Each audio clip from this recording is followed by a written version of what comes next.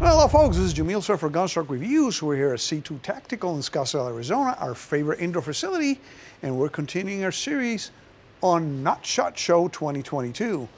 This is, uh, I won't be able to attend SHOT Show this year, but that doesn't mean I can't bring you the coolest, latest, and greatest from some of the manufacturers that we have featured here in the past. Some, some new manufacturers, we have some really cool stuff for uh, the SHOT Show 2022. So check this one out. Crossbreed Holsters just introduced the Rogue Holster system. It's Kydex and can be worn either appendix inside the waistband or outside the waistband. It has both loops. And you can get this for any firearm that you already own or you're planning to own. Check it out. This is a brand new holster from Crossbreed Holsters. This is a, I would consider this to be a, a special goodbye for 2022. Hey, guys, thanks for watching. And always, please remain healthy, stay safe, and have fun at the range.